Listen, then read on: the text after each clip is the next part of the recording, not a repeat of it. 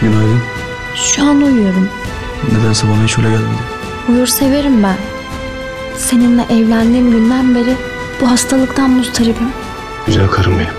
Kalbimin sultanı. Bugün büyük gün. Bakalım gerçekleri. Öz kardeş olduğumuzu Fırat'a nasıl söyleyeceğiz? Üstesinden geleceğiz el birliğiyle. Her şey yoluna girecek. Babam nerede? Bu meseleyi bizden öğrenmeli. Aslında benim bununla ilgili bir önerim var. Bak ne buldum. Akşama her şey hazır olacak. Dükkanda biri var sanırım. Hırsız galiba. Oğlum bizim seninle konuşmak istediğimiz önemli bir konu var da. Fırat'ın hakikati öğrenmemesi için her şeyi yapacağım. Şu dörtlüden teki bile kalmayacak.